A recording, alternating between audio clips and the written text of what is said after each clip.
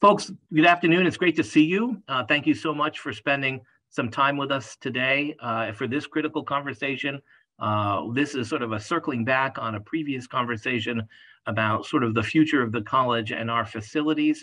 As you well know, we've invested uh, some of our money that's been set aside for the strategic plan to really invest in a master plan uh, and that we have partners that have been working very closely with us over the past several months and will be working with us uh, into the remainder of this semester, this spring semester, and possibly into June. Uh, a couple of things I, I, I want to say is uh, besides thank you for your time today, but many people have been parts of conversations either in, in meetings that existed with some of the leadership staff or some of the faculty who have been able to give some input through this process. Um, we really want to thank you for your time and energy around this. Today is really an opportunity for everyone to sort of weigh in. A couple of things I will tell you is that uh, the information uh, that we receive from Sasaki is so incredibly complete uh, that it has been condensed to some degree for you today, uh, but we will still be spending a good hour of our time hearing about the results of their conversations, data, etc. So uh, it will be slightly different in format today in that a good half of our critical conversation will be uh, listening to information, receiving information based on where they are thus far in the process. And the second half will be opportunity for you to make comments, ask questions. Uh, that will be really important. So uh, we just ask your patience. We're also going to be able to get slides delivered to you so you can get a chance to digest this. And for those folks who could not attend today, uh, we want to make sure that they have access to that information as well. This process is not over. I want to emphasize that. This has been an ongoing process with several parts of a timeline, so it's not over. And the other thing I'd like to uh, make sure that you all know uh, in this effort to be transparent about this process is we have not done this process in 15 years. Uh, so it feels a little overwhelming at certain times. But I want to thank Sasaki and the Department of Capital Asset Management and uh, the fact that we are doing this process in partnership uh, has been tremendously helpful. On top of that, I want you to know that all of what we are receiving are from consultants, and consultants are incredibly invaluable to any process that we talk about what happens to the college and either campus going forward but there will be no decisions made by the Department of Capital Asset Management and Sasaki. This is information for us to digest and to use as we make decisions together going forward. So we'll get to a point where there'll be some additional recommendations, et cetera. But at this point, I want you to know that we're very grateful to have the partnership that we've had thus far with all of those. And I'm going to turn it over to Patrick Cook to introduce our guests and then begin our presentation.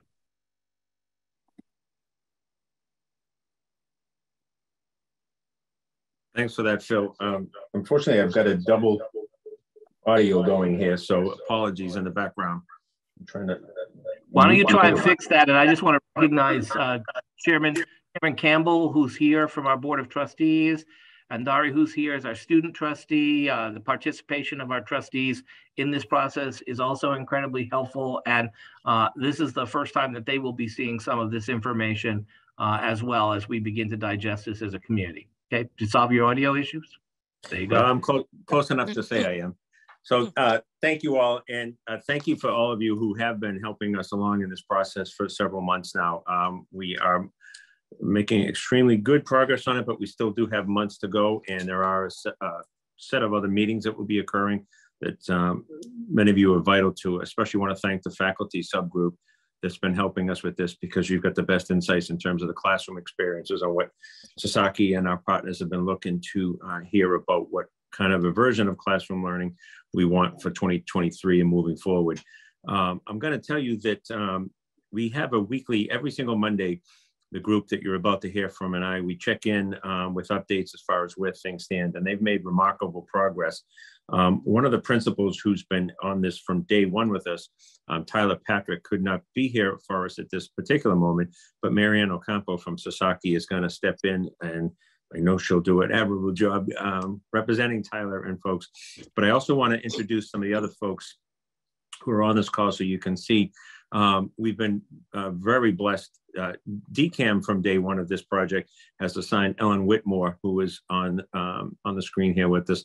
And mm-hmm. she's been helping to make sure that we're um, staying tight with our deadlines and keeping um, the state agencies plugged in. And we also have Sudeshna Sen from Sasaki, who is here. And I'm sorry because I'm on the off screen, but I know we have Willa uh, Q from, um, she's the Director of Planning with Affiliate Engineers Incorporated is on this call. And Marianne, I'm sorry, I know somebody else um, went off my screen here, but. Right, from, Tamar Warburg. From Tamar. Tamar Warburg. There you go. Perfect. I'm sorry, the screen is moving around on me here. Um, so what we're going to do is um, we'd really like to turn it over to them. They're going to be doing a presentation to show what they uh, gleaned from their site visits, from their analysis, and from their conversations with folks on campus um, for the first part of this critical conversation. But then we really need to hear from uh, you folks with some of your thoughts and suggestions. Um, and I know Beth has talked about it. We're going to be continually reposting it. The chat will be disabled while the presentation is up on the screen, but once it's reopened, we have the MCC master plan at middlesex.mass.edu, and we really would implore you to use that email as much as possible for your thoughts and, and suggestions uh, moving forward here. The, you know, the, the, what we're planning is to have uh, a pretty good version of this ready um, by the end of the semester heading into the summer so that we've got a very good roadmap uh, moving forward. But I think what you're going to see based on the conversations I've had with faculty who've been involved, um, that what Sasaki and folks have found with their analysis of our space utilization is not going to come as a surprise to many of you in terms of um, what we what we're watching post COVID. So um, they they are intentionally looking at every one of our buildings to see what kind of utilization is happening in each of those spots. Um, and they've already come back, come up with some recommendations that I think we're going to be hearing about um, today and moving forward. But like like uh, the president said, please understand, we are not done with this. This is still got months to go uh, for development, and what you have to share for your thoughts um, electronically or audibly here uh, with the group is very much valued. So uh, don't be shy about weighing in on on what you see or what you think um, our next steps could be. So with that, I'm going to turn it over. Marianne, I'm not sure who's doing the slide presentation for you folks, but. Yeah, Thank you, Patrick. Um, Sudeshna will be sharing um, the screen. Hello, everyone. It's, it's great to be with you all today. We're very happy um, to be sharing a snapshot of our campus planning process for Middlesex Community College. And I think that ultimately, we want to hear from you all um, in regards to um, some of the analysis that we're going to be presenting today. There is, I will say, a space analysis that's being done in regards to understanding what those interior kind of um, spaces are like on both the Bedford and, and Lowell campuses. Um, but today we're really focusing on the kind of larger um, organizational thinking for the physical analysis of both campuses. And so we are in a process where this analysis is really good for us to absorb as we hear feedback and we understand what the needs are. We'll eventually get to ways that we're thinking conceptually about design recommendations. And then we'll have a preferred plan that we develop um, as we think about decarbonization and sustainability as that's part of the way that we understand um, the kind of academic enterprise of Middlesex Community College. So that will be covered with Tamar kind of speaking to some of those goals as part of this presentation. So if we go to the next slide, um, I'll say that first and foremost, the foundation of the plan is focused on understanding historically where you've been uh, for MCC, we understand um, as a humble beginning of, you know, starting in the 1970s and 1970 um, with the Bedford Veterans Administrative kind of administration hospital site and how we began to, to kind of evolve throughout the decades. So here is just pretty much a timeline that shows you um, the kind of beginnings and the origin of Middlesex Community College and how it's evolved over time. Um, so, from beginning with the Bedford VA Hospital to understanding courses were offered on the Bedford campus, Arlington, and Woburn kind of um, high schools and Air Force Base in the 1970s, um, to really seeing in 1978 um, that the state purchased the, um, uh, this amazing site where we know the permanent Bedford campus to be today. By the 1980s, we saw that there were other campuses that were coming online, but the most notable one that we can speak to for today is that the Lowell campus opened at a temporary location in 1987 thereabouts.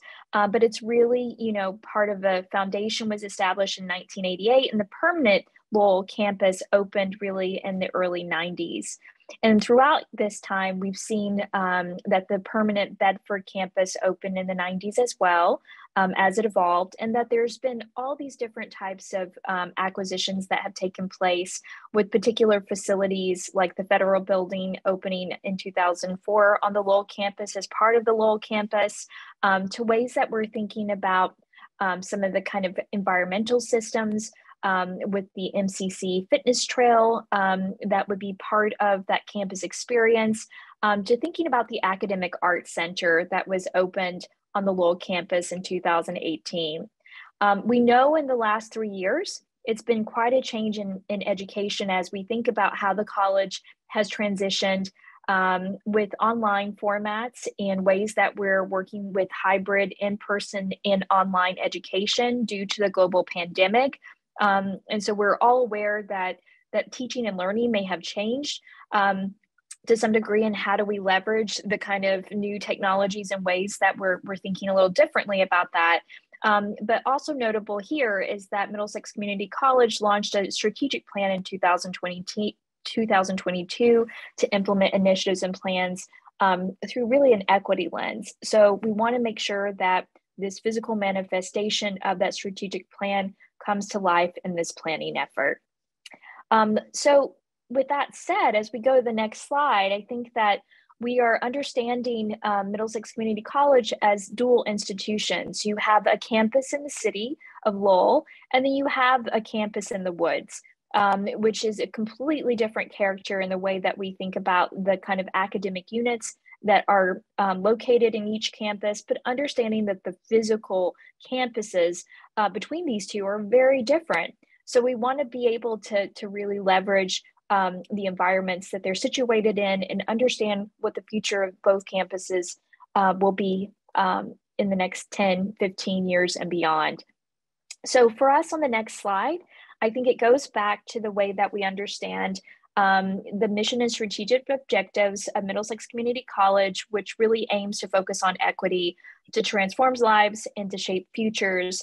As we think about equity and inclusion from a mission perspective, we understand it's through ways that we think about education, understanding how to support all different types of students, and that there's cultural, economic, and workforce workforce needs of the local and global communities um, that make up MCC. The strategic directions um, that we're aware of from this planning effort is also about the culture of equity mindedness and expansive excellence. What does that mean as we think about space, as we understand um, access in, um, to, in the public realm from a mobility perspective? Um, when we think about strengthening pathways to student retention, understanding what physical aspects of that we can do in this campus plan um, that help retain students, and then strengthening identity as a community-based hub for equity, centering student and community voice um, is very important as far as the programmatic uses and programs affiliated really um, within both campuses. And then prioritizing fiscal stewardship and sustainability. So I think as, as part of this, um, our, the DNA for the way we think about the physical campus environments um, is, is going to be through that stewardship and uh, kind of sustainability um, aspect. And so, how we we think about energy usage, how we think about open space and landscape, how we think about mobility options, all play into uh, a more sustainable kind of campus model. So, if we move to the next slide, um, I'm going to begin with our analysis. Um, oh, just a moment on decarbonization, Marianne. Oh, okay. Yes. Yes. Thanks, Tamar. Why don't you present the decarbonization, please? No, it's exactly uh, the follow up, right? If we're prioritizing yeah. fiscal stewardship and sustainability, what does that mean? What does it mean for Middlesex Community College? And what does that mean for DCAM, for the Commonwealth of Massachusetts? So the strategic plan goes on to talk about core principles of financial and environmental sustainability. Let's look at infrastructure. Let's look at deferred maintenance but always from this ethic of resource conservation and social justice. Let's find ways to study the future of the physical campus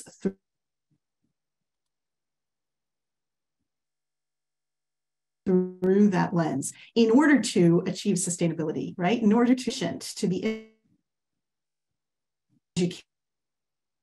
Such a strong correlation with this Commonwealth of Massachusetts goals, right? DCAM has its decarbonization goals, Executive Order 594, Leading by Example, aims for all campuses, including Middlesex Community College, to be carbon neutral by 2050. What does that mean? Looking so closely at that energy use and other sources of carbon emissions to gradually reduce, reduce, reduce those emissions to zero by the year 2050. And that could unlock some potential uh, sources of funding or incentives or rebates as well that we hope working with Willa and her team of engineers at AEI to really study energy use and carbon emissions across the campus and find ways to, to make these uh, goals uh, part. Thank you, Miriam. Great, thank you. So as we move to analysis, um, I think that we want to start with number one, the two campuses and understanding how those two campuses connect through a mobility lens.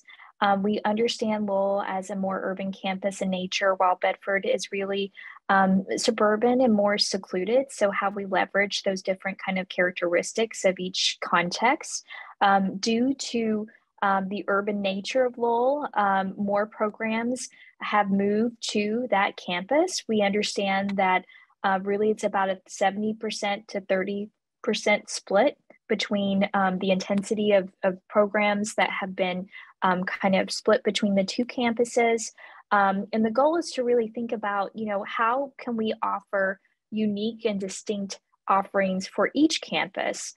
What we also see in the image here is understanding that geographic position and understanding uh, driving times and what the kind of um, uh, mobility uh, distance is relative to those who might travel through automobiles and so forth, and just understanding that distance and, and knowing how significant it is for those who have access to different types of transportation getting to each campus. If we move to the Lowell campus, um, we want to you know really move into understanding that greater context where we can see in this case um, labels that show where the academic um, and, and, kind of support buildings are located um, relative to the Lowell campus um, understanding how those facilities are knitted into an urban fabric um, and, and thinking through their kind of distance from each other and what's located within each if we go to the next slide, we can look at an aerial kind of plan that again shows that kind of um, context for the campus, this urban campus. And then as we move to the next slide, um, really seeing the Lowell campus um, and understanding how you can leverage um, access to certain amenities because you are located downtown. And so knowing that whether it's food or fitness or ways that we're thinking about what the city offers, that can be built into the way that we think about this campus experience. So here you can see all the kind of buildings labeled relative to what makes up the MCC Lowell campus. Um, and knowing that those are probably within a 10 to 15 minute walk shed um, in, in regards to getting to these different facilities.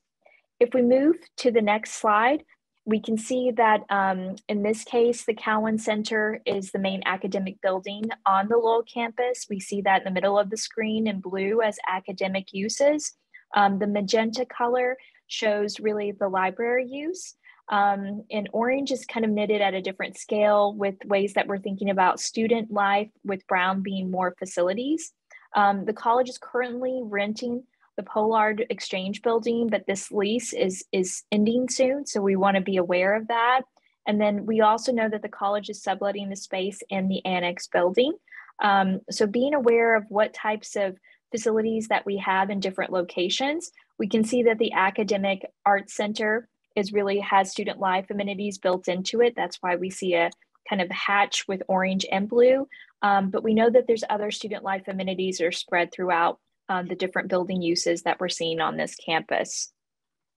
As we move then to the Lowell kind of campus buildings, um, we're understanding from our campus planning perspective um, all the different types of um, spaces and programs that are located within each of the buildings um, and understanding what's the highest and best use of these locations and spaces, um, not only where they are, but thinking about the quantity and the quality of spaces that make up um, these different space types and different programs um, for the Lowell campus. So I think that we're aware of the kind of um, type of architecture that exists, um, the building typology and how some of them are wider buildings that we have to really think about relative to how we understand service and access, but getting views to the city and natural light.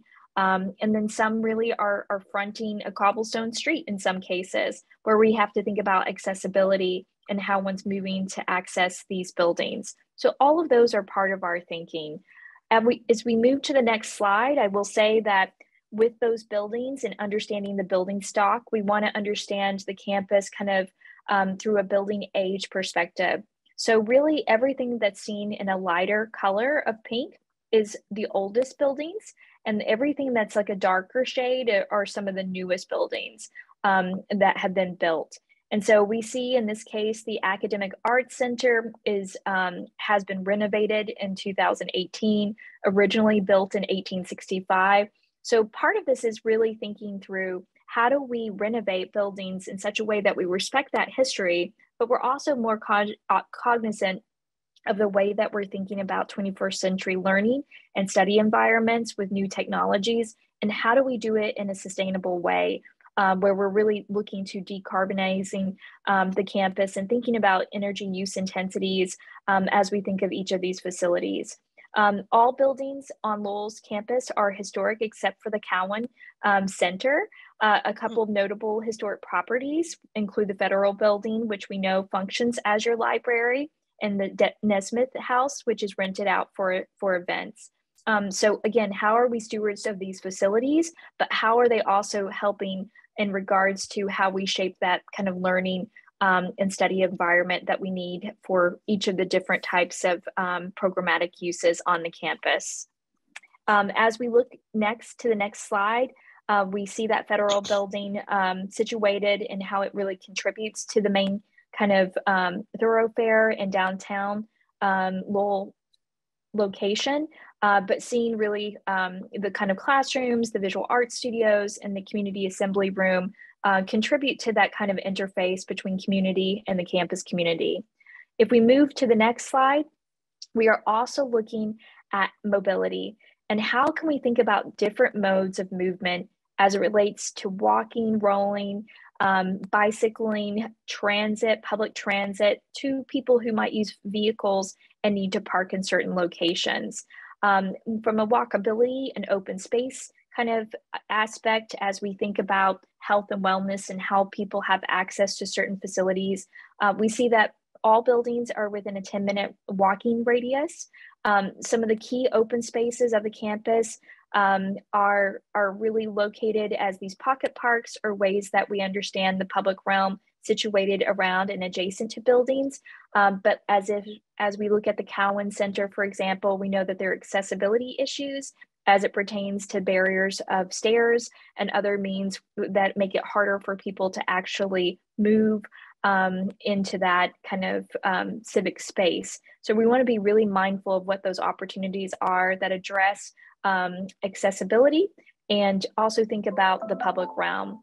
If we move on to the next slide, what you'll see is some of those kind of snapshots that you all are probably very much so aware of uh, would love your insights into how you utilize these spaces or what would be better in regards to the design of these spaces and what your, your needs are relative to how you want to occupy these really beautiful outdoor spaces that overlook the canal and the city.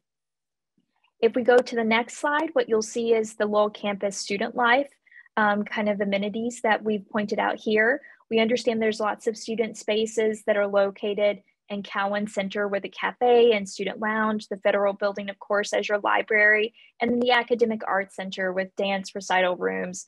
Um, but there's also a lot of other different types of spaces that we want to be mindful of and how we capture, and then thinking about how we, again, leverage what you have, but also take advantage of the city as a resource and think about the quality of those spaces and what your space needs are which moves us to the next kind of slide, which gets to campus affinity groups and community support.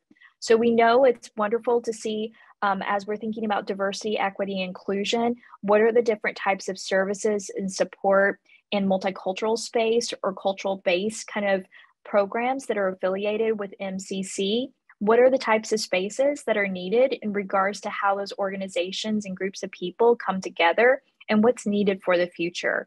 So we really want to be mindful and hear what needs there might be in regards to kind of affinity groups and culturally based organizations and, and community support.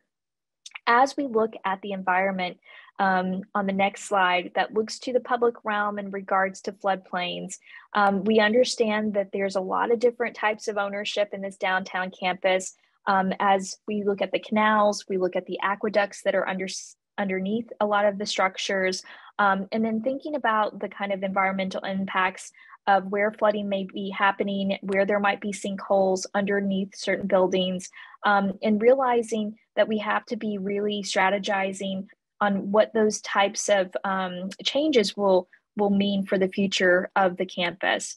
So you can see in the blue here that there's a um, kind of the waterways, what you'll note in, in the different shades of blue is like the 100 year floodplain and the 500 year floodplain, and then just seeing where those affect certain surface parking lots, structured parking, some of the annex building, um, just understanding that we want to really think about mitigating that flooding and understanding structurally what's going on, um, not just what we see, but what's below these buildings uh, and some of the invisible infrastructure systems that we don't see as part of this plan.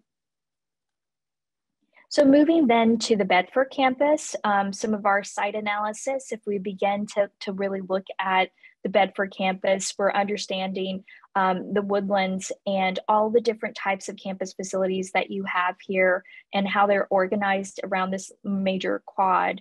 Um, as we move to the next slide, um, we, we understand the kind of um, location of the Bedford campus as more secluded um, and surrounded really by the woodlands and by these different water bodies and being aware of that. We also understand its relationship to the expressway and vehicular access from that expressway from different parts of the region. Um, and, and then also thinking about the development patterns that have been emerging along this Northeast Expressway and knowing that a tech park and different types of neighborhoods are really your neighbors around this property. And so, how can we think through um, those different land use patterns and ownership patterns and how those might impact the future of the Bedford campus?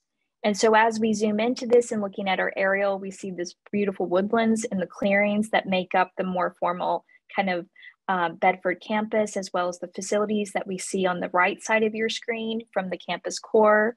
If we move to the next slide, um, what you can see then is um, really the organization of the campus, um, facilities surrounding this quadrangle, and knowing that parking is on the periphery. So keeping it a super pedestrian oriented campus um, as you, you think about the core.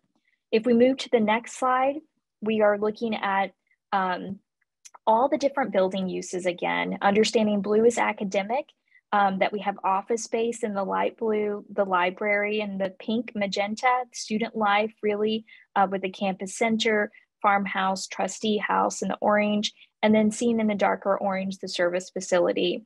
What we want to note here is that we know that Henderson Hall is the main academic building that is planned for major renovations with new biotech labs, um, and that this is a major kind of uh, capital investment um, for MCC at this time. So being aware of that and what's happening there, I think is very important. As we look at the different facilities on the next slide, we can see the kind of um, the character of each of these buildings um, and how they're working relative to the quad. Um, from the bookstore and understanding the, the cafeteria and the center there um, to thinking about how these different buildings contribute in some way um, to the Bedford identity. Um, but but for us looking at you know what's the highest and best use of this land what buildings are really contributing and what are in conditions that are more challenging and should they remain or should they be rethought as different types of sites for development, um, be it open space or um, new facilities. Um, if we move to the next slide, then that builds upon this idea of um, what buildings are are older and, and what are a little bit newer. Um, what we can see here is that the darker buildings in this case are showing some of the buildings that have been there for um, quite a long time. And then as we move into the lighter color, we're starting to see buildings um, that were in the 1990s added. The trustees house is one of the oldest properties on campus and is currently underutilized. We know the North Academic um, and Concert Hall has potential for renovation. It would require significant capital investment the Bedford house is in poor condition with inaccessible circulation and an outdated kind of HVAC, heating, ventilation, air conditioning um, kind of building system unit. Um, and that the South Academic Building is inaccessible and removed um, more so from the core. So we would just want to be pretty mindful of how this is working into our, our analysis. If we move into the next slide, what we can see here is the, the kind of um, images that show those different types of buildings um, and, and, thinking through what does the trustee house, what does the Bedford house uh, mean for the future of the Bedford campus? Um, and then how would you think about building renovations and what would be the highest and best use for those renovated spaces on this campus? On the next slide, what we see here is that there's, again, the walkability and pedestrian circulation makes this a really strong core. Um, it's all within a five minute walking radius, really. Um, so that compactness is really great from a sustainability perspective, and then making sure we're cleared out of areas where there are woodlands. Um, but we also have in the green, what you can see is the different types of um, kind of um, circuits and trails um, that are part of this beautiful setting. So, what can we do to strengthen where those trails are in those settings? How are we learning from the woodlands as that kind of landscape laboratory um, for investigating ecosystems and ways that we can study um, environmental systems and so forth?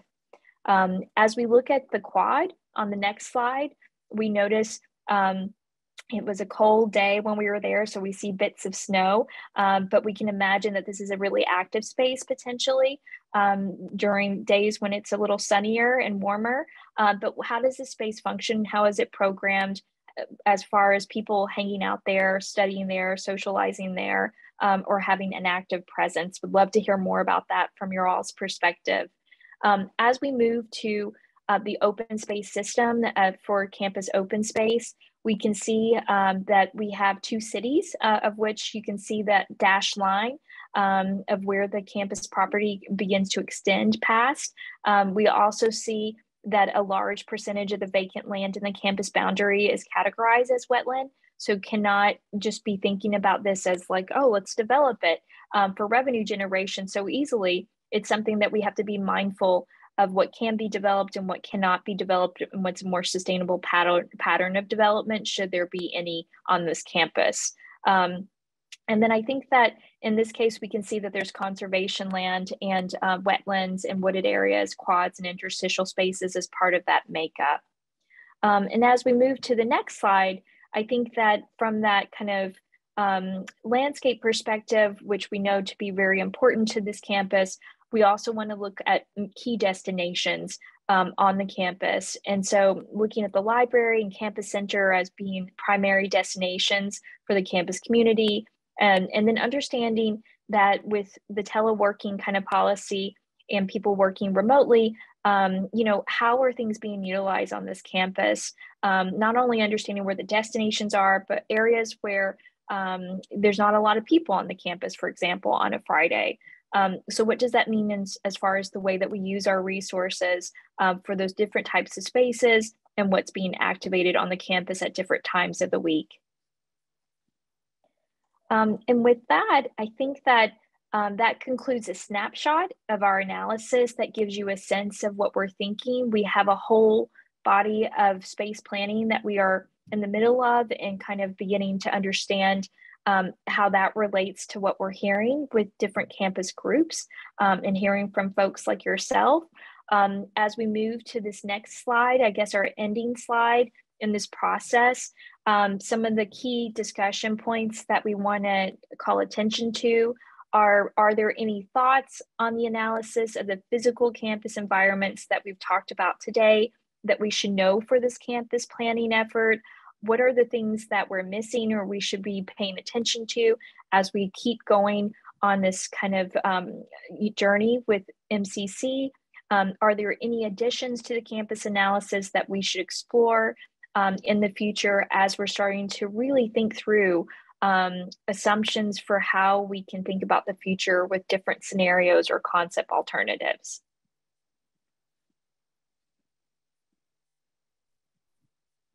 And right, so Marianne. I think that, yeah, yep, thank great, you for that. Thank you. Uh, Sudeshna, if we could climb off the screen sharing there, um, we'll get back to the to the gallery view here. Um, you know, they, they have a it's a 90 plus slide presentation looking at really drilling into the analysis of each building, each classroom, taking a look at what they're, they've been observing over five plus years worth of data, and, as well as the energy utilization for those properties. So that's what's being um, processed simultaneously to, to our conversations here. But um, I think the thing that we really want to hear from folks is some maybe some ideas you've been kicking around um, in the in the back of your mind, especially those of you who are in your, your um, classrooms, what you've seen. Um, I know in the conversations that I've been part of, you know, we've heard a lot of uh, feedback about current uh, conditions in some of the rooms, and um, we, are trying to take a, a, fresh eye approach to, to some of those, especially on the um, Bedford campus, where maybe some of the buildings are in need of some TLC and haven't had it for a while. So um, especially for faculty who are in uh, different types of classrooms. We want to hear what, what your needs are. I know, like I said, many of you have been helping us with the advisory group, and we're going to be um, convening that group back together again. But um, now is certainly the, the time. And Phil, I'll, toss it to you, and then we can open it up for um, for, for general questions. But we really, uh, truly want to hear what folks have to have to think. Sure. Thanks, Patrick, and and thanks, Marianne, for for just sort of the overview. Um, what what I would tell folks is this was designed as an opportunity for us to talk about a number of things that may be ideas that have been bouncing around your head for a while. Let me give you a couple of parameters that were really important in our conversation with Sasaki and DCAM. So you have a sense of um, sort of our thinking at the leadership level. Um, in this fall, we will be in a round of an opportunity of an every two year process to apply for a capital project. And part of that has been part of doing this plan help to inform what that capital project will be. Uh, and I think that that's why your input is so important. Um, the second piece I'd say is that, and and and Ellen, please, Ellen Whitmore from DCAM, please correct me if I'm if I'm incorrect. But those capital projects have been mostly projects that have been extended based on collaboration, but also on the idea that we have to tackle our deferred maintenance. So when we talk about uh, having $96 million worth of deferred maintenance, that means that not all of our buildings will survive uh, this process. And in fact, since the pandemic, it's quite clear that we don't need all of our buildings based on the classroom utilization that we've seen on both campuses, which is why this, the details of that piece are so important. Uh, I think it's important for us to think about the conversation about specifically uh, on the Lowell campus, we lease a facilities building that is still incredibly important to us, and we actually have subleases under that building. So, uh, but but the one lease that we do have that we have great control over is the Pollard building lease. So we've had conversations about how do we over the next year remove ourselves from that lease in the Pollard building and move uh, the programs and the activities that are in that building to another space, whether that be in Lowell or Bedford. Okay, so that's that's on the table. But I want you all to know that uh, in a conversation with the Board of Trustees around our, our, our budget, and uh, for what we're looking at in Lowell, that we uh, moved away from the purchase of the Pollard building and now are working towards moving out of the Pollard building. And I think that's really a new scenario based on classroom use utilization and what we know about what's happening uh, with face-to-face classes and online classes. Second piece for Bedford is that we have a number of buildings that will be significant cost to us to continue to maintain uh, inside the quad and outside of the quad. Uh, first couple of areas would be specifically uh, Bedford House, uh, which has been uh, part of a conversation here for over a decade about what do we do with that building. Um, and, and my guess is that one of those things is that as we look at a master plan for Bedford, it would be taking that building down would be part of one of the things that we think is a serious consideration in our next capital project effort. Uh, and the other question is how do we really focus on the quad itself and moving ourselves out of potentially uh, South Academic and consolidating classroom space. Uh, so those are the things that we've had some initial conversations about. Those things have been on the table simply because in order for us to be successful in this next capital project and for us to do a good job with this facility's master plan, we have to think about what has happened in terms of our enrollment reduction, where we're using space, how do we utilize space for the best kinds of opportunities to do hands-on work with students, which we know is still driving students to campus on both campuses. So I'm just laying that framework for you to have some uh, more detailed reactions and thoughts but we're seriously, very seriously open to all of your comments. Now, we do want to tell you, Sasaki is not going to decide what furniture you get in what, what classroom. Uh, we can talk about the, uh, the, the, the needs of refurbishing a number of classrooms on both campuses, and we're making progress with that annually. But I think when we talk about that, but when we're talking about co-location of offices and classrooms and what, what kinds of needs do people see that we've not been able to address before because we've never really attacked this from a master plan perspective. So I'm opening that conversation up and then uh, we're open to all your comments. Joanna, you want to start? Um, yeah, hi everybody. Um, thank you for that. I'd, I'd love to see the 90s slideshow, not on a Zoom meeting um, at some point. um, and we're happy to share that with you because the details are rather fascinating. Yeah, it'd be it'd be really fun to see the details on that. Um, three things. The money's every two years um, through DCAM for deferred. Is it only for deferred maintenance, and is no. it guaranteed? Let, let me back up on that. So okay. we receive deferred maintenance monies now from uh, the state to address some of our more our, okay. our facilities issues that we have on a project list. What I'm saying is the larger issue of any expansion, change, et cetera, is requiring us to go and think about can't think about something new or something that's renovated without making really clear two things. One, how are you going to utilize that space? How are you going to drive students to that space? What will it do to revitalize the campus?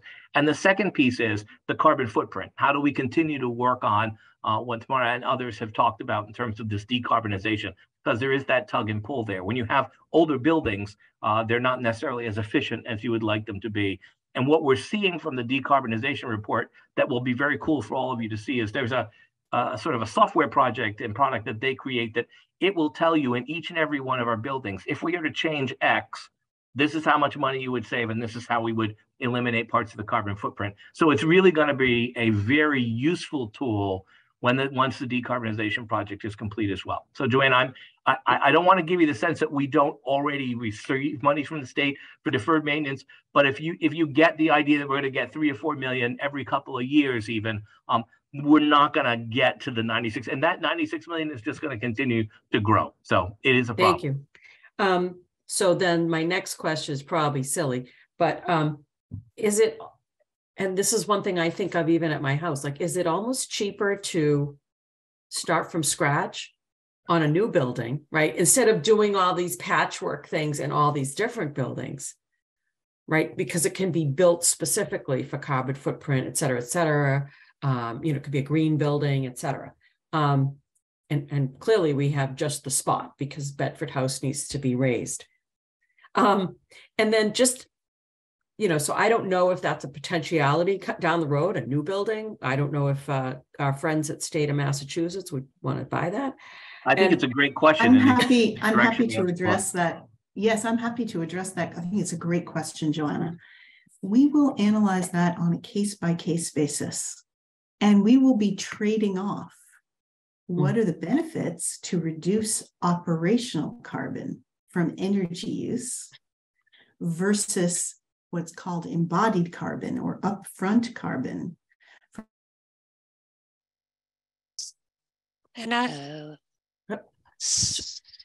So existing buildings have a lot of value and we will just case, case by case basis. Thank you. The, the other, and the, just the third piece real quick is like, my head immediately goes to, okay, so we're doing this project, we're rehabbing, we're refurbishing cl- potential classroom space, labs, things. What do we do in the meantime?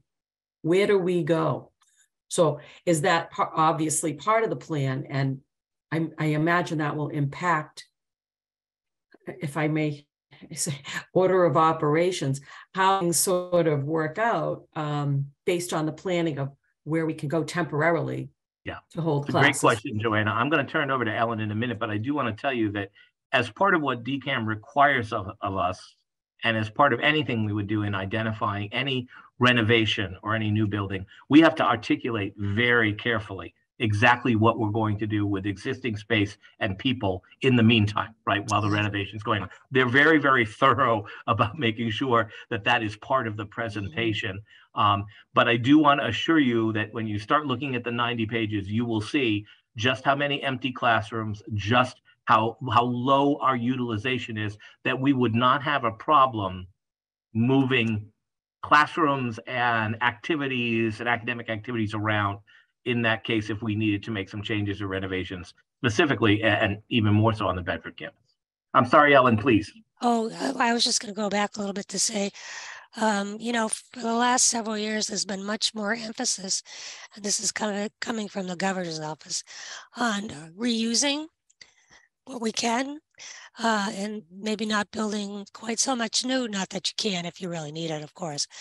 Um, but, you know, it has to do with sustainability and kind of putting our money where our mouth is sort of thing and kind of really trying to make an effort to be sustainable and think that through and balance balance you know i mean i know sometimes the condition of the building can be quite dreadful so you know we do see that but on the other hand you want to be careful not to just throw something out when you could probably use reuse it and reuse it well so it's always it takes study you know it takes a lot of it takes a team Yeah. That's true, Ellen. And I, I would just use some of our recent renovation to sort of like the dental clinic. Uh, Yeah. and the biotech, Yeah. like, like, look at that in those very old buildings, what beautiful new facilities can be created. Even Yeah. when you have an outside shell, but you have all the infrastructure that is there. So Ellen's talking about, like, would it be cheaper for us to renovate Henderson Hall rather than build a new building, Joanna? And the answer is yes. Thank you. I have some um, comments that have come through, Phil, um, to me that I can share. Um, and a couple of questions. Um, one, the community garden was not mentioned or displayed on the Bedford maps. Um, will that be part of the existing sustainability features? Oh, absolutely. And there's actually no, there's no activity or use that is academic in nature directly connected to that. But I mean, we have lots of opportunities for open spaces, including that community garden for a reconnection. So there's no plan to change any of those things because all of that enhances the Bedford campus. It does not detract from it and enhances academic connections possibilities in the future or work with co-curricular work. In fact, we've had student government uh, a couple of years ago asked us for bees. Like how do how do we attract more bees to the bedford campus? Because you know and and we've often talked about solar panels on the bedford campus. We've talked about you know in the past we've talked about wind turbines. I mean there's there's lots of things for us to discuss around the issues of sustainability. And in fact we've you know we've moved in that direction with the trustees house there. So i mean we have although that's a very expensive effort to get that done. It was through a grant that we were able to accomplish that for Trustees House. Um, so I think uh, that's a great question, but there is no plan. In fact, the larger question is how do we enhance the quad and the outside areas? Can we create outside classrooms and opportunities for faculty to use uh, some of the outside space that we've always wanted to? You know, I wanted to, you know, create a patio there for functions, et cetera, uh, until we learned just how expensive it would be to pour cement to create a patio. So uh, I think that all of this is on the table, which is why we want to have these conversations. But no, I don't. I don't see any reason to think that the space that we are currently using along the trail along the side there would ever take away the community garden. In fact, the question is, is that something we'd want to expand on in the future? Thank you, Phil. Um, there are a couple comments um, that I've received regarding accessibility and how that's important. Um, and has there been any talk about involving our students from our formerly DSS, now SAS department um, in regards to the barriers that they experience and getting their ideas for um, accessibility improvements? Yeah, I, I would guess that our SAS, our folks that work in the SAS department would be able to tell us because of the accommodations that need to be made on a regular basis, exactly where some of those pain points are. We're very aware. We've, we've had a complete report on that. We know exactly where the pain points are. Uh, but having student voice engaged in that is something that I think we've heard time and time again. We know that we're in very old facilities. And for the folks that are new to SAS, there's plenty of reports to show you of exactly all of the issues that we have with accessibility on both campuses and happy to share those reports with you. Next, um, do you know where roof repair slash replacement is on the priority list? Sure, which roof? Which building? This did not specify. No, we've got lots of roof problems. So yeah, yeah. So, so which building? What? That's the ninety-six million dollars in deferred maintenance, right? So I mean, yeah, I mean, when we think about it in terms of what we'd like to do, if there's potential for any renovation in Henderson Hall, that's going to require an entirely new roof on Henderson Hall, right? So it depends on which direction we go in, uh, which buildings stay remain active, uh, and as part of the current deferred maintenance list. And Ali, I think you'd have to say where we are with the plans for using those dollars. If Ali's on, I don't know if she's on. I am. Hi, can you hear me? Um, yep. So we're in the midst of planning the DCAM spend for the deferred maintenance for the next tranche of money, which is fiscal year 24 to 28. Um, a lot, I don't have it up in front of me, but a lot of the works that we have planned are for, we have some boilers, which are very costly. We have a couple roofs um, at the parking uh, lot and the accessibility into the Cowan Center are also at the forefront of it. Um, $8 million is spent very quickly, especially after post-pandemic and the inflation. So we have some major projects and we're trying to synergize where we can with this master plan. Um, and so um, that is what we have planned right now. We're still kind of nailing down the details depending on certain results and the way things go. Yeah, and and you know that that's a little more complicated in the city of Lowell than it is in Bedford. Bedford seems a little more isolated, and we have some opportunity. Although we learned a lot with that VA parking lot, that we we we do still have Bedford neighbors that have a lot to say about what we do. Um, so what I would say is that every one of those deferred maintenance plans changes over time depending on the conversations with the city. So, for example, the city of Lowell has had some extensive conversation with us about sort of the canalway, and there's been a lot of discussion about who owns what land around the building and whether or not we'd be able to maintain that. What kind of insurance would that look like? How would we really be able to flatten some of those bricks? I mean, we're seeing what's happening in the sinkhole just on the steps on the front of the Cowan building, which is now cement as opposed to brick. You may be wondering why we didn't price that with brick because, you know, all of this is about how do we deal with things that are most immediate and most urgent. So what ends up happening is no matter how well we plan, something more urgent seems to come up that spends that money a lot faster uh, than you would think, as Allison has identified. But we can, and Allison, once you find that document in terms of what we presented to the board. We can drop that here in the chat if you would. Um, and, and that might give people a sense of our most recent projects that we've been talking about. I would only add that I, you know, I, I do think the timing is right for the this master plan, the decarbonization study. Um, working with DCAM, there, there is opportunity to build a case for when we talk about the decarbonization stuff and in Massachusetts having its own goals for energy efficiency, we certainly can. The goal is to collect this information, be able to hopefully piggyback on some of it and be able to take advantage of state money down the road um, where we can't necessarily uh, speak to it in this next, you know, five, four year plan of the, the deferred maintenance. So there's opportunity there. We just got to get all our ducks in a row to take the most advantage that we can. That, Beth, there's been some comments in the chat. Maybe we can go through them as well and try and answer and give people some some feedback. Yeah, sure. Phil, I have a bunch of chats that have come directly to me. That okay, well, I think what would be great is if people, as I always love, like you're here, we're all here together. Um, we would be love to have you come on camera and ask the question. So I appreciate why you're sending it to Beth, but I think we've had enough critical conversations and open dialogue that there should be, there's no fear factor in this. We really want to hear from you or we wouldn't be spending the two hours doing it.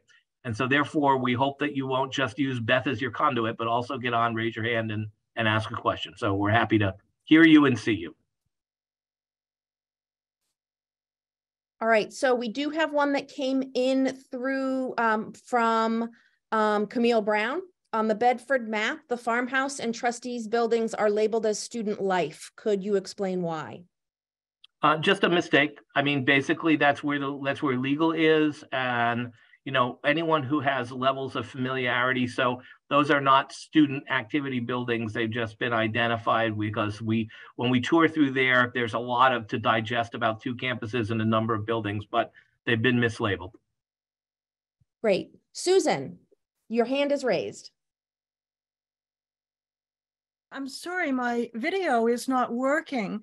Um, what I would like to mention is that I find with the emphasis on attracting older students to the campus and that being a fairly successful um, marketing um, approach that students that I meet with are looking for more face-to-face classes. And just as an example, today, out of um, six students I met, four of them expressly ex um, wanted face-to-face -face courses in the summer and the fall. So I thought that might be important information for people who are planning um, rehabs and renovations of interior spaces. Yeah.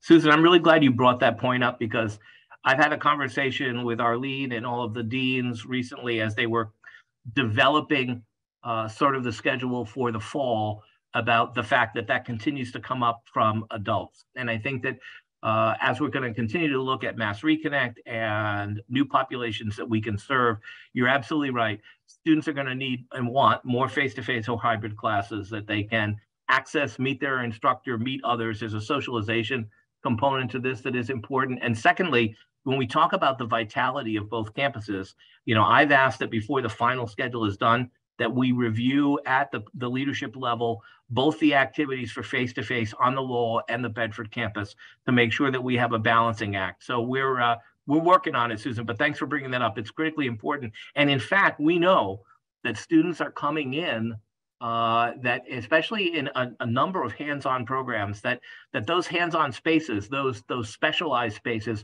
are really important to students as well uh, so we're going to have to talk about you know where are our more uh, lecture-based chalk and talk kinds of classrooms and where will be our then the technology that's needed for them and how do we focus on some of the more hands-on opportunities and where does that get focused in Bedford and Lowell? So it's a great point. Great news. You, Phil. Um, we have a comment slash question from Stacy Hargis in the chat about creating more public facing space for students where they can share their work and their art and their businesses. Pat, you had um, thoughts on this? Sure. Um, thanks for that, Stacy. Um, I'm, sorry, you moved on my camera. There you go. Um, so we have been in conversation actually now for over four years with a group from within the city of Lowell. Um, and unfortunately, there was significant turnover of personnel that were involved with this project from the city of Lowell, um, especially during COVID. So that all the individuals who started the conversation on that front are no longer working with the city. But um, Allison Chambers and I have been um, meeting with the city regularly to take a look at the footprint directly around Cowan. And you'd be shocked at who owns what around us and how little is actually owned by us. Um, the city owns a significant portion of it. Uh, the state owns part of it with um, parks, and then the national park owns a big piece of it out back, and then the locks and canals or whatever the Enel has morphed into these days um, owns a, a stretch of that as well. So the actual footprint that we have the ability to do work on or invest money in is um, remarkably small.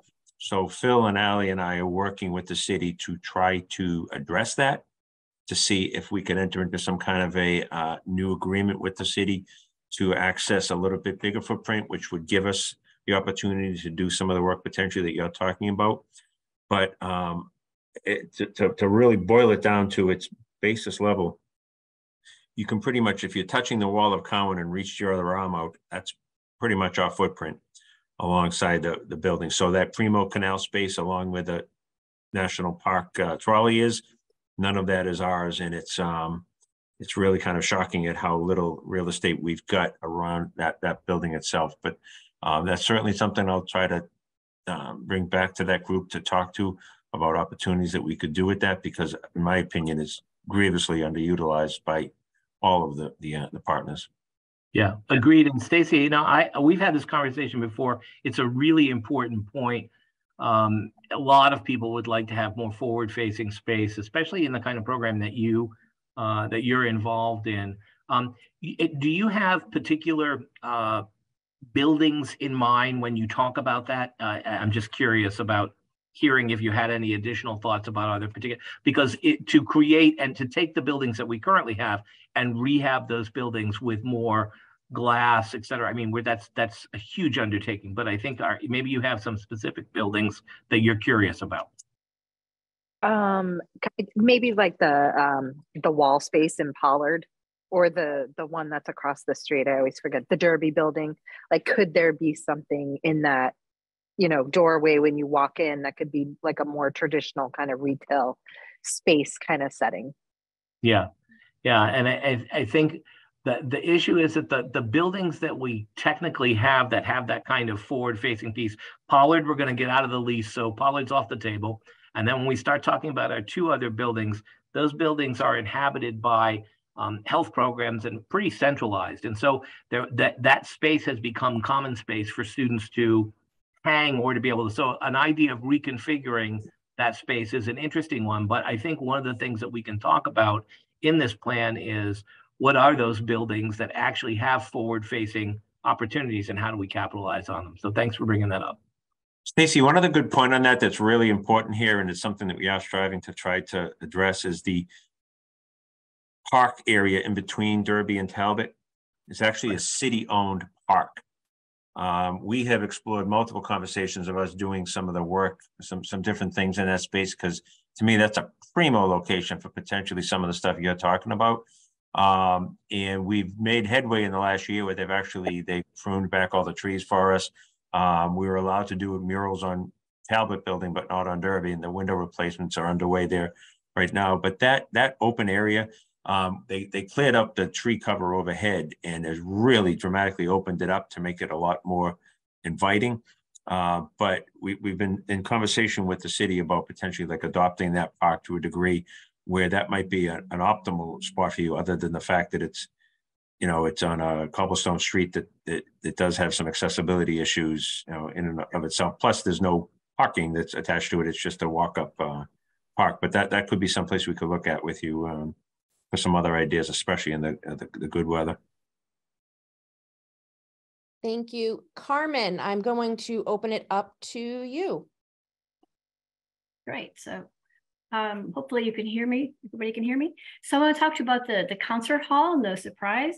So in our case, in the music program, we have 50-50, 50% of the classes in Lowell and 50% of the classes in the concert hall. It's our only music space in Bedford. So interesting to hear the 70 30, ours is 50 50. Um, we have a concert series, as everyone knows, in community events. That's also 50 50, 50% in the concert hall, 50% in Lowell. Um, some reasons to renovate this concert hall, it would be great. First of all, has beautiful acoustics.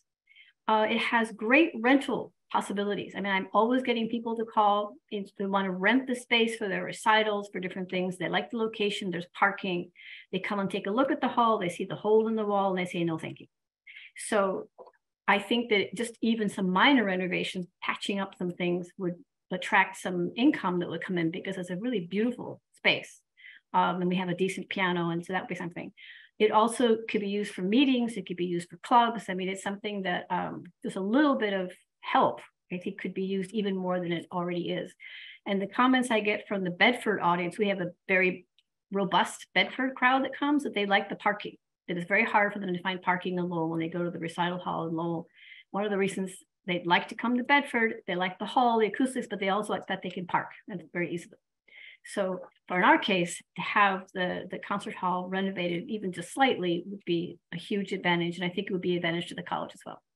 Yeah, Carmen, you saw that on the slide because the Sasaki people also were very attracted to that space in terms of what could happen right. there and what a beautiful space it is and that it does need uh, renovation. So that was there. And the issue is sort of what's what we have to figure out is what's co-located in that particular building. And, and so we have to think a little bit about what belongs in Henderson, what in the past things have sort of happened very willy-nilly. This gives us a chance to think about scheduling and opportunities to sort of focus where things are. And uh, so that that they were very attracted to the space when they saw it too. It's a beautiful space. It is. Yeah.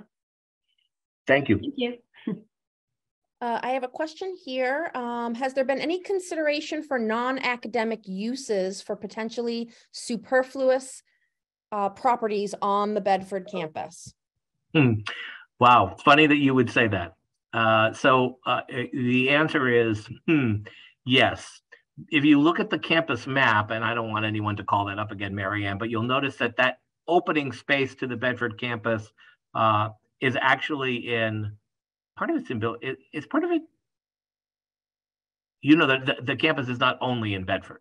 The whole meadow is in Billerica. Everything leading right. up to the uh, farmhouse and a lot is in Billerica. Right. And so the question mark about that space and its uh, and and whether or not it's too close to wetlands. The other piece of it is oh, there's a lot of wetlands on the Bedford campus, but there's also a lot of parking lots now that are not being used, right? Um, so the other conversation is the out towards the facilities building. And of course, if we were to tear down one building and move things out of uh, South Academic, right? Because it's not part of the, want to bring things into the quad, um, then what would South Academic become? And could that be something that the city wants to take over in terms of a building? Could that be something that the state wants to take over? I was just with the governor and lieutenant governor, and they are very excited about finding space for housing number one problem in the state housing. So, is there a way to renovate buildings that already exist? And they have asked higher ed facilities. And so I've, you know, kind of tapped the lieutenant governor on the shoulder and said, when you want to come down and look at the Bedford campus, we're happy to we're happy to give you a tour of what may be possible. But I think about an exciting uh, housing development that would be on the Bedford campus where we would have a deal that a certain number of those uh, units would be for our own faculty. We could attract additional faculty uh, to the Bedford area. It's a beautiful area to live. So there's lots of things that we've talked about. Um, I think what ends up happening is it all comes down to will and expense. And so we'll see how this plays out. But I think uh, that's why it's so important that we have our DCAM partners with us through this process because um, you know Ellen's insights into things that have been done on other campuses, things that are being done uh, at the other higher ed institutions is really uh, invaluable to our process of thinking what could be on the Bedford campus because it's a space we don't have that space in Lowell actually. So. Thank you, Phil. Winnie, you had had your hand up, but now I see it's down. Do you have a question still? Um, I think Phil answered part of it in terms okay. of the Pollard building. So. All right, great. Thank, Thank you. you. Um, I'm combining two comments slash questions here. Has the college thought about electric cars for the college's fleet vehicles and solar panels? Yeah, and actually, as part of this plan, as part of the issue around sustainability, we have to think about that, right? Because we have to think about our own parking lots, folks who are, need to use those facilities. Um, we know that there are people, because we're so close to the highway, it would be a particular attraction to have people drive off, park their car, be able to charge it, right? So, yes, there's lots of discussion around that. And I would think that as we move to a final plan, that will be uh, part of that plan as well. Critically important. As for Lowell, I think the whole issue that we've had this conversation is about sort of what happens in the Lowell garages that don't belong to us. They belong to the city. So it's a conversation with them about their own strategic plan, and they're currently going through a planning process. But also it would be sort of how do we uh, identify ways that we can use the front parking lot uh, to be able to consider that. So yeah, those discussions are ongoing and they're important, but they are an important part of this plan because of the decarbonization, because our efforts to really make sure that we're creating sustainable campuses on both campuses. Thank you, Phil. Um, that is a great segue into the next question. Um, the parking situation, especially in Lowell, is um, challenging. Has this been included in the problem solving analysis as part of the master plan? It's a, it's a great question. I mean, I, it, if you go to any campus on any higher education, I don't know if any of you worked at other higher education institutions. There are two things that people talk about all the time: food service that students talk about too. Food service and parking, right? It's universal, the universal problem. It's more of a problem, certainly in the city of Lowell, because we don't currently own our own parking garage or parking spaces. And so that is a natural discussion all the time with the city about the kind of partnership that's required. You know, I, um, we have talked with them many times about how important those garages are to the flow for our faculty and staff and for students.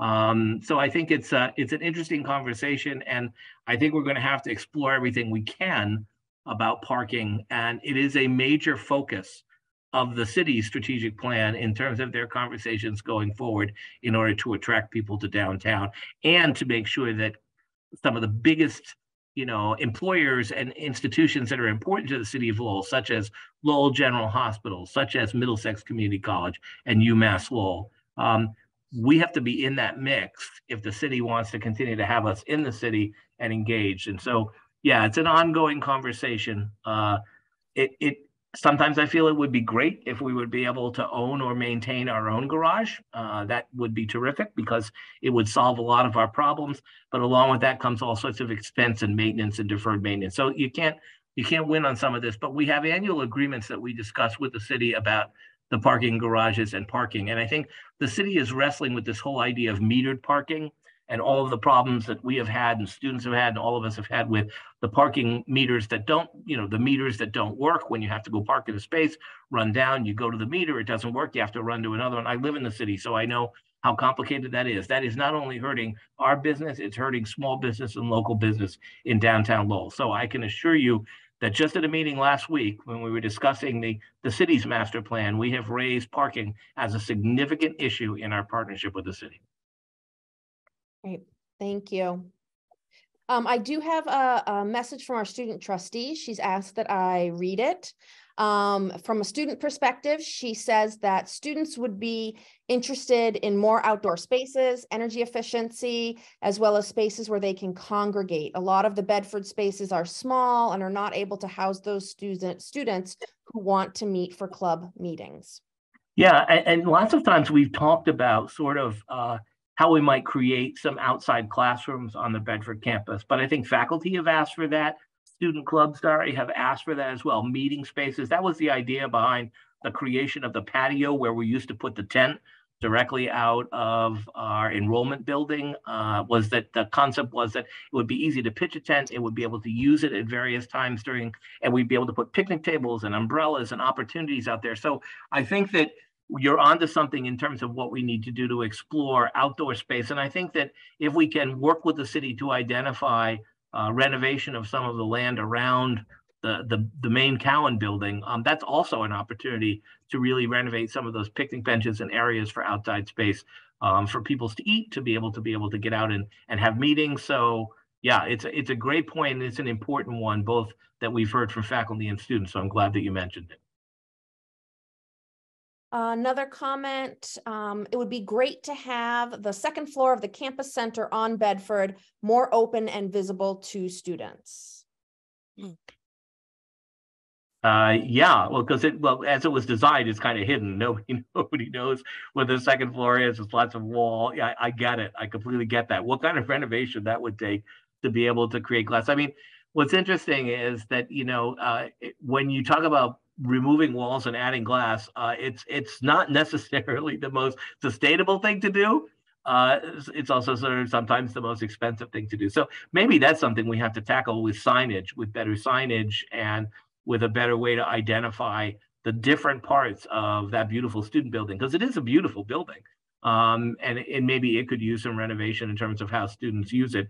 But um, I think that there are places on both of our campuses that are mysteries to students, like places mm. that people, students don't know what's on that floor or that area. But that's certainly one of them. Uh, that if you mm. don't know that that's where major offices are, especially for co-curricular, et cetera, then maybe that's something that we need to rethink as we're moving some spaces around is something to think mm-hmm. about is is that the optimum place for those particular functions to be um, and that's something we can decide i mean that's not going to be part of a, a master plan but we certainly do have the space to be able to figure this out no, that second floor, the um, the work that was done there over there in the last year uh, by Jonathan and folks to turn that food pantry, to move the food pantry out of Bedford House into there, um, they've got primo space there, which is really gorgeous. It's a gorgeous. great drop-in uh, spot for the for the uh, for the food pantry. But as you know, the you know the veterans are in that building, multicultural is there, um, you know, student engagement. So there are you know there might be other ways we can help market that space a little bit better, so folks do um, know what's up there. But I will laud that um, that that the food pantry relocation is a huge step that was very uh, positive because they've got a terrific setup up there right now, and I know that Jonathan and people have been using it um, pretty consistently. So. Yeah, and I think that we also have to recognize that if Bedford House does come down, if it is torn down, then we've got faculty offices we've got to deal with. We have a prayer space there that has to be accommodated, a space for mothers for lactation space. So there are spaces that are in the Bedford House that would need to be absorbed elsewhere. So um, it isn't as simple as just saying we're going to tear a building down. We've got to figure out where everything fits. All right, I do not see any other comments in the chat that have not, uh, or ideas or questions. Oh, but Ava, I see your hand just went up. You are muted. Uh, hi. Uh, probably this question is, uh, with all due respect to Phil, this question is probably for Sasaki, whoever can answer it. Uh, it's more into like a theoretical question or a technical question. Uh, for the decarbonization uh, effort, what what option do you have, and what that option that could apply for uh, uh, MCC? basically. Can you, I, I mean, based on your uh, initial assessment that you just presented to us just now? I, I don't know who will answer that, probably someone from Sasaki. Um, Willa, are you still with us here? I'm sorry, I've lost you off my screen. I lost Willa and I lost Tamar, who might be able to answer Oh, the question. Well, Yep. so I, I mean, I can't answer that the way they might, but I can say, um, you know, we have, we at DCAM have been charged with decarbonizing all the campuses. And there's been a stronger and stronger push behind this developing over the years, you know, coming down from the, gov- the governor's office. And we have a very strong in-house group that deals just with sustainability and resilience that really kind of scrutinize all this and help support us in this. So we take it very seriously. So I don't know exactly what will be proposed. I just know it'll be paid attention to. Yeah, I, I think even what I have seen, and I, I'm excited to show folks when we get to a point where they're a little further along in the process, but each building, uh, the software that I talked about, gives us options about changes that we could make to the building uh, and the expense, what it would cost us to make those changes, and then what would be the savings to making those changes. So I think that um, there's a whole presentation just on the decarbonization piece. And you're right, no offense, Eva, there's no way I would attempt to answer that. But I think that we have experts that are part of this process that when we have the final report, they're going to have some very significant uh, recommendations and give us multiple options for each building that we currently own. Uh, okay, so it's it's like uh, every building different. It's not like the whole uh, Correct. collaboration. Okay, so it's I think I think there'll be some general recommendations made that we could do across the campus for all buildings, and then there's going to be some things that are going to be very building specific. based on the age of the building, what we've what we've done already in terms of uh, trying to address energy issues, et cetera. So I think it's going to be the way this software works and the way we've had access to it from what we've seen is it's very specific by building with all of the other issues that that particular building has to be able to make recommendations for changes. Okay, I guess have to wait.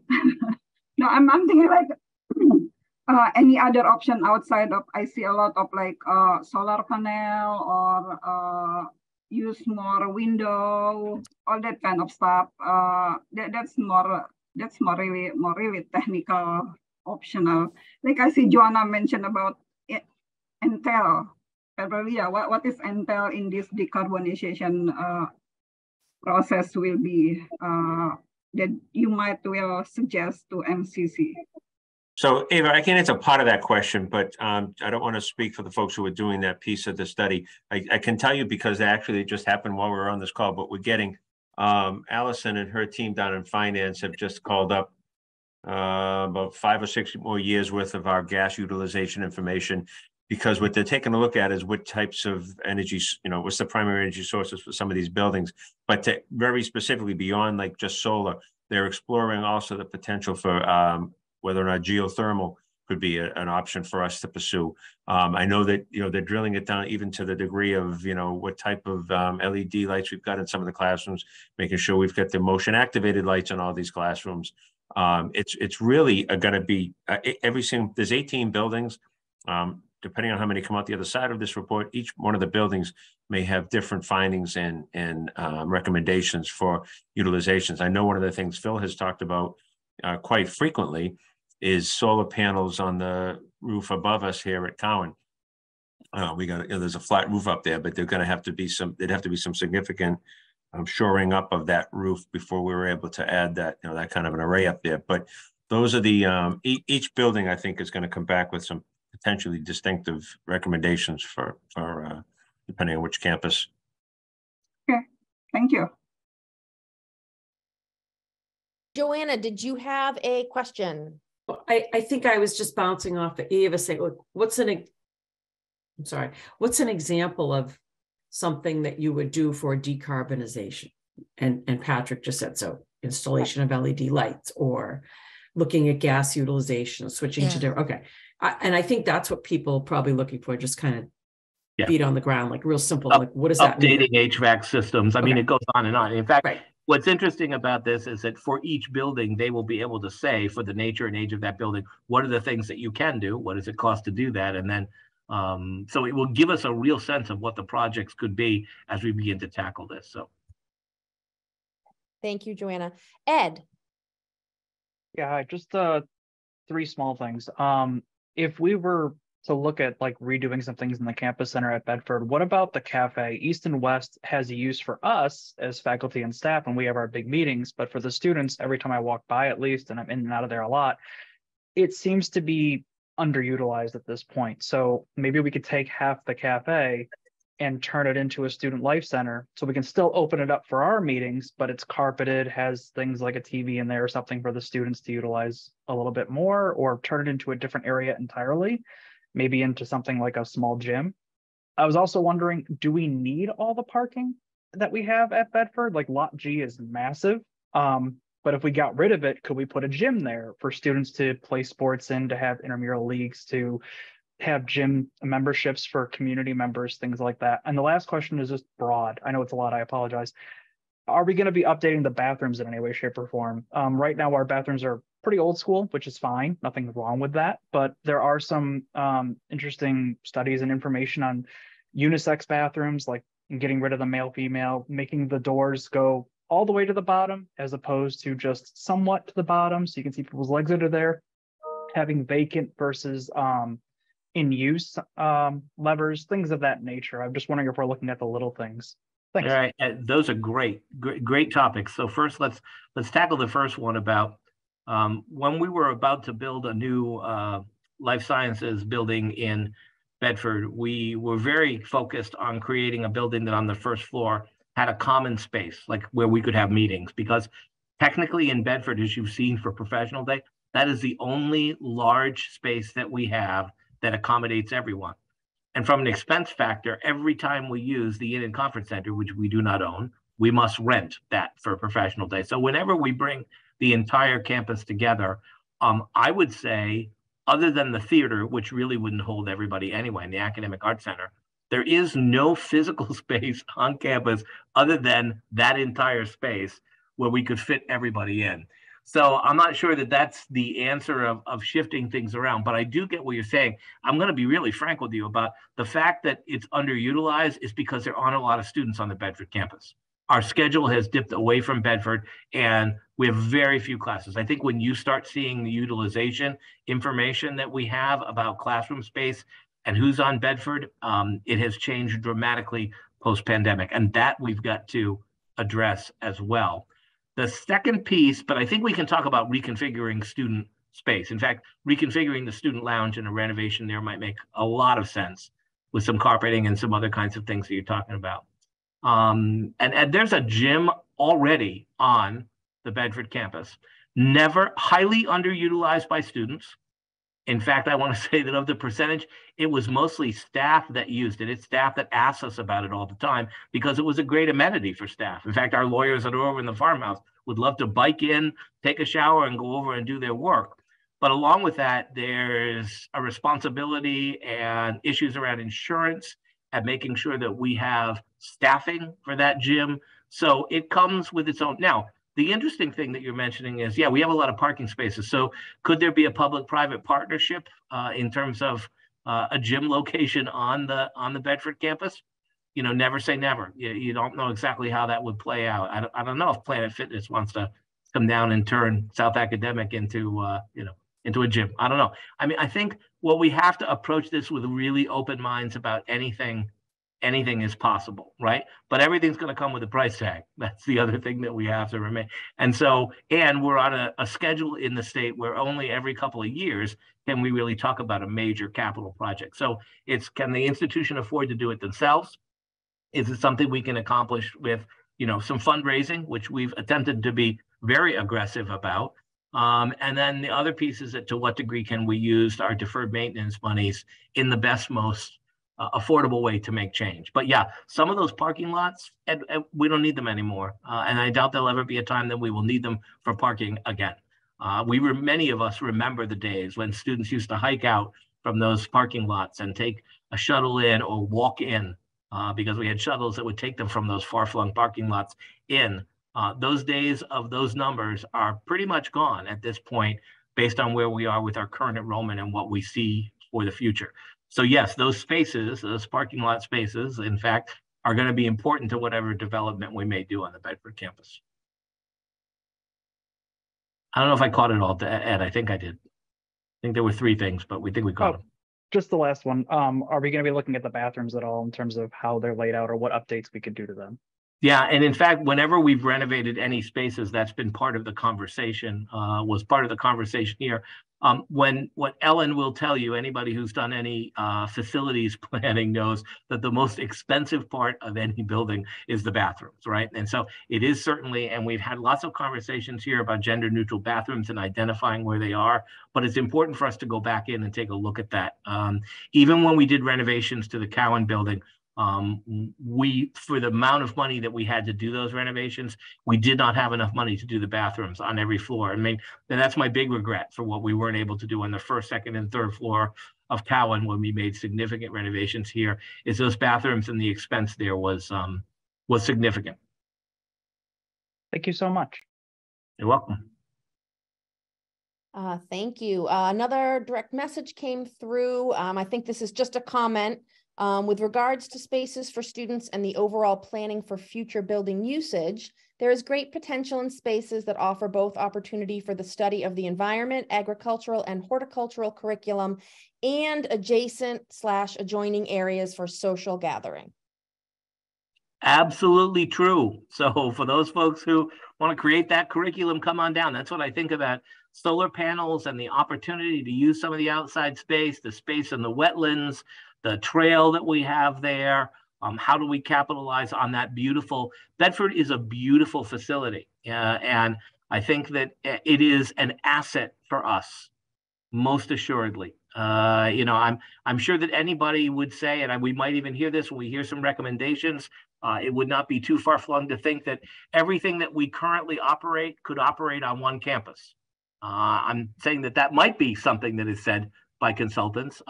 We know that the Bedford campus is too important to us, to the history of the institution, and to who we are. And the fact that we have both an urban and a suburban campus is really um, is really special. It's part of what makes it, the institution unique, and we want to lean into that uniqueness. So the opportunity to grow environmental programs on the Bedford campus, bring it on. Happy happy to have it. Lisa. Yes. I'm working on that. Like I said, advertise the ecology class. We will get them outside. We will study the ponds. We'll study the streams. We'll get out there. And like I mentioned in the comment, we will calculate the carbon dioxide captured by those trees in our campus as well. Um, we're really engaged with the community garden, trying to expand that, you know, access, get more people involved. It's open to anybody in terms of the sustainability club. And then um, I love to get students outside there and hike. But I have to say, even we there's a lot of really cool opportunities for environmental studies in Lowell as well. So um, I teach environmental science in Lowell, and we're doing all kinds of great stuff in, in Lowell. So we don't forget, urban ecology is also super important. Here, here. Beautifully said. Thank you. Uh, let's see here. Uh, back on the bathroom um, topic. It would be great to see free tampon and pad dispensers in all of the bathrooms. And uh, could we just do thorough cleanings that would in the bathrooms? That would be a great improvement. Yep, both both of those points are well taken. And in fact, I'm not exactly sure. I don't visit the women's bathroom all that often, uh, so I don't know. But that I did not even know that those dispensers had been taken down. Maybe somebody can we can do a little research on that, Patrick, about where that has happened and how we might be able to replace. I know that uh, sort of uh, that dispensation of essential needs is uh, is available through our our food pantry. is not just a food pantry; it's certainly been expanded over time. Uh, but but having them in the bathrooms would make great sense. So I think we have to take a look at that as well. All right, I do not see any other chats. I don't see any other hands up. Uh, we still have some time left, so if you have anything else you would like to ask of our experts, please do so now. On the next level of what we'll be sharing with you will be some of the other information from the 90 page, the, the larger presentation. I know Marianne had to run to another meeting, but uh, really appreciate uh, the folks that have been with us today from, from DCAM and from Sasaki. Uh, Sadeshna, thank you for being with us. Ellen, thank you as always. We really appreciate the feedback, the small and the large. Um, but I think that Sasaki, when they finish all of their recommendations, they're going to be, I've asked them to be as bold as they possibly can. So I'm not trying to shock you all. I'm just telling you that we currently have two campuses that are underutilized, right, in terms of classroom space. And that has happened post pandemic. We have to have a solution. We do not need all of the buildings that we currently have. And that means that we're going to have to re examine how we use space. And that's every space. So, as I've joked with people who have moved into new offices, et cetera, I've said, don't anybody get too comfortable anywhere because we're going to have to really look across the institution how we efficiently use space and what we can do to some of these buildings. And in Bedford, for sure, we're going to have to talk about, I don't want anyone to be shocked by this either, taking down a couple of old buildings that the deferred maintenance does not make sense for us to continue to have those buildings. And we really want to focus away from the quad, right? Keeping the quad as together as it possibly could. And perhaps how do we look at uh, renovating even someplace like Henderson Hall to be able to create more STEM opportunities, more, more efficient and updated labs, more hands-on stuff. So this could be a great puzzle across the board about where things belong. And I will say to all the chairs and coordinators and all the faculty, this is a good time in division meetings to have conversations about, you know, where where where does your program really belong? You know, where where would you be able to capitalize both on space and on students? And I, I don't want us to forget that we have two campuses that imparted the culture of this institution. And as long as I'm here, we're still going to have two campuses. We've got a shuttle system that takes students back and forth. So how do we figure out how does that how does that schedule work for students as well? So this is going to be a big conversation. Sasaki is going to give us some recommendations. We'll share those with you. But I think there's going to be uh, a broad spectrum of what those recommendations can and should be and how we best use our assets. And so please use the ideas and, and, and, and make sure that they keep coming. The MCC master plan email that's up there for you, do not hesitate to use it. Please keep sending things into us. Uh, and we'll be talking about sort of additional renovations and projects going forward but I do want to thank our presenters today, and I want to thank all of you for your time. Lisa, your hand is still up. Did we? Did you have something else you wanted to? One quick question. There used to be a dashboard that showed us how much energy was stay uh, was saved with our ground source heat pump, and I clicked on it, and there's no data. Has that been turned off? I'm just curious how to get the most current data on for that. Uh, Is that the trustees house you're talking about, Lisa? Yeah. Um, I'll check with Frank Morandi from Bedford to see what the status of that dashboard is, but um, that's only Okay. the, that's, that's, we had the geothermal that we got from an earmark a number of years back. Yeah, because I found the link and you know the the historical data are show, still showed, but the current data it's like zero. I'm like, well, I know it's still working. Yeah, no, hey, thanks for letting us know that. I had no idea. So Okay, thank you. you're probably one of the few people that looks at that on a regular. Basis. Exactly. Great. Anything else? Uh, one more question, um, Phil, uh, that was, uh, sent to me. Uh, I heard earlier there will be new biotech spaces in Henderson Hall. Currently, most, if not all, biotech classes are in the Lowell Talbot building. Do we know what classes will move?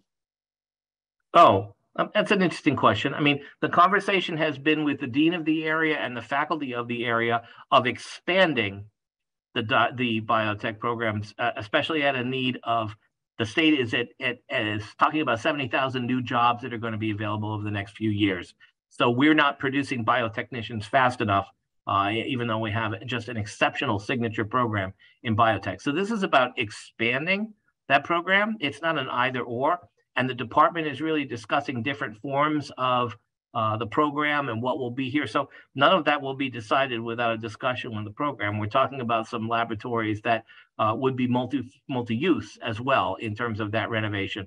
Um, that's not going to happen tomorrow. We've gotten some money from Mass Life Sciences. We've gotten some private money that I'm out trying to raise. We've gotten earmarks from one of our Congress people, but but that is a ways in coming. Uh, it's going to take us a while to raise all the money that we need. And as I can tell you, with any physical plant uh, plan now, uh, if if something starts at four million, I can tell you by the time it gets built, it's more like seven million. So it, it is a very complicated time to be able to answer how fast something is going to be renovated and what we will need to accomplish that. So the most important part is to really look at an opportunity to expand high demand programs so that we become part of the workforce solution in the state of Massachusetts. And we're going to continue to do that.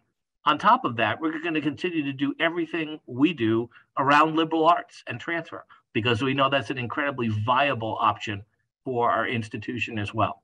So that idea about discussion about programs, it's not necessarily an either or. It may be an and.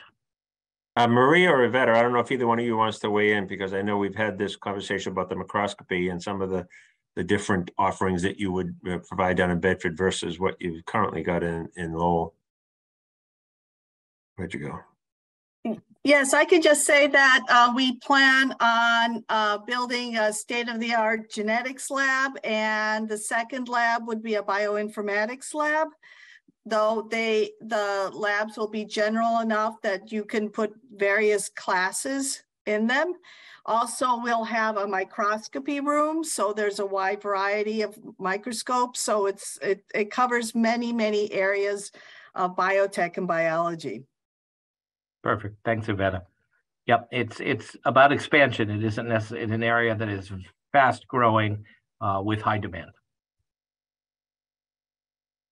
And that is it. I do not see anything else in the chat, Phil. Folks, I just want to thank you again for your time. As always, your feedback has been invaluable. Uh, thank, we've recorded this. I know that our, our partners in Sasaki and, and at DCAM really appreciate hearing from the whole campus as I do. As we get more information, we'll send that information out to you as the plan uh, progresses. Uh, I also want to ask all of you to take an opportunity. I know you've been doing a great job of filling out 360 evaluations for folks on my leadership team, as I've been asking folks to do and that we promised would happen over the course of this time. Uh, it's time for another presidential evaluation. So hopefully you will have seen that come out as as Joanna wrings her hands, right? She can't wait. She's going to go fill it out now. Uh, as uh, you would take the time to really complete that. We've shortened that evaluation for this year because last year's was long and torturous. So it's a little little shorter this time around. So I appreciate you uh, taking the time to fill that out. That those results will go to the Board of Trustees. I think it closes around the 24th, but uh, I think it just went out today from HR. So we'll be sending you uh, reminders to be able to do that as well. Your your feedback and your input around uh, how we're running the institution is really important to all of us. So thank you. And again, thank you all again for your time for an incredibly valuable conversation. And Ellen, thank you so much for being with us and to our Sasaki partners, whoever's left that I cannot see. Thank you so much for your presentation. More information to come, folks. Thanks and have a great afternoon.